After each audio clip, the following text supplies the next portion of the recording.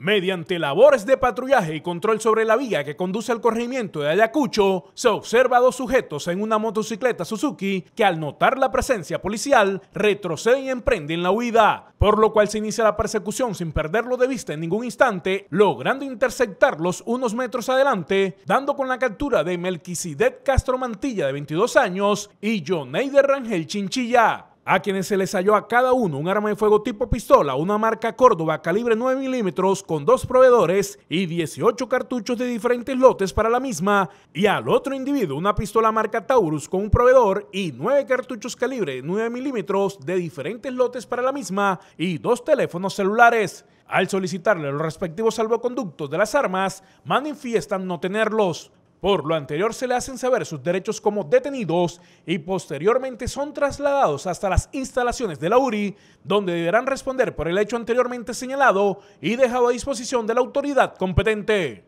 En el grupo empresarial Carpio, conformado por Carpio Firma de Abogados y Carpio Bienes Raíces, Contamos con un equipo capacitado para brindar los más eficientes servicios de asesorías, consultoría, interventoría en el área legal, así como el área de la administración de inmuebles. Estamos ubicados en la calle 9A número 1557, en el barrio San Joaquín.